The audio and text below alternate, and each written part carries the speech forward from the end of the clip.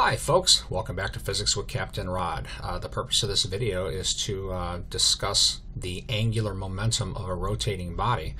So what we're looking at, you know, imagine this big rock-shaped geometry here that is free to rotate about this uh, axis right here that I've drawn in pink. Let's imagine it's rotating uh, counterclockwise with an angular velocity omega. Again, this angular velocity being the rate of uh, rotation.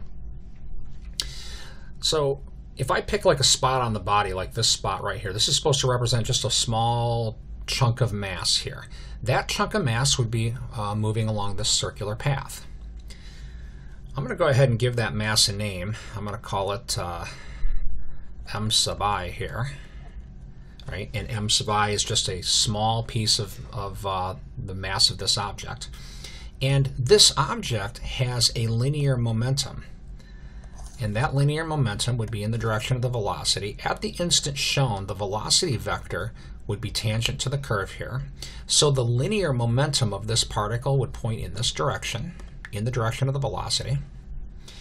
And that momentum vector would equal the mass, which I'm going to call m sub i, and uh, times its velocity, which I'm going to call v sub i. Now, again, the reason I'm putting i's on this is because you got to think of this body as the sum of a bunch of little masses. You have to imagine breaking it up into hundreds or even thousands or potentially millions of little pieces.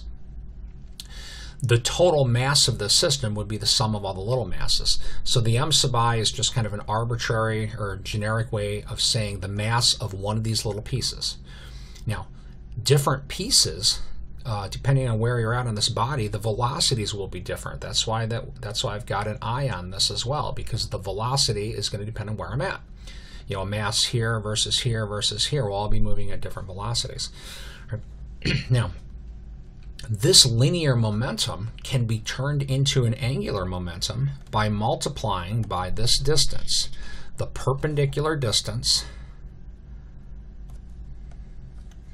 from this axis to the uh, momentum vector. Right. So I'm going to call this uh, r sub i. The reason I'm tacking an i on that is that distance is going to depend on where you're at on the body. If I move over to here, whoops, pardon me, I'm going to have to uh, pause this for a moment. Sorry about that. So where was I? Um, linear momentum of this piece m sub i is equal to m sub i v sub i. If we multiply that by r sub i, whoops, and I'll go ahead and do that in black, we would have what I would call maybe L sub i, L being representing the angular momentum of this small mass. Now, the angular momentum is uh, counterclockwise, or in a standard XYZ coordinate system, we might call it the plus k direction. I'm just going to say counterclockwise, which is good enough.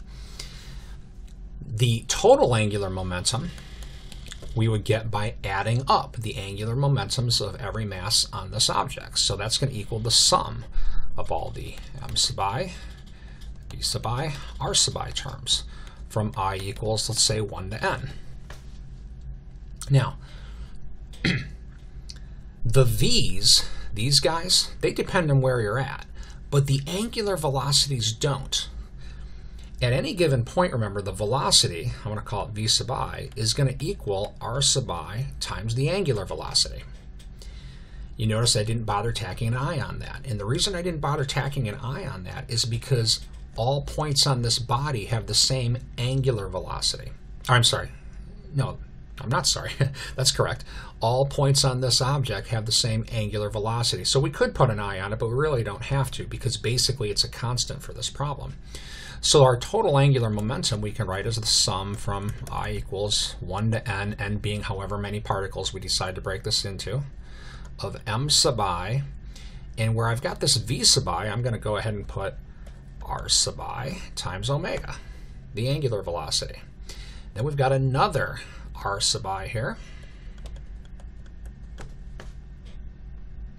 Now, if you look at this sum carefully, if I group anything that's got an i on it, this is now going to read the sum from i equals 1 to n of m sub i r sub i squared, and I'm going to kind of put that in parentheses, times the angular velocity. Hopefully now, hopefully if you're watching this video, you recognize this term. The term mr squared gives what's called the moment of inertia of the system. The m sub i r sub i squared would be the moment of inertia of this point mass or very, very small mass about this axis.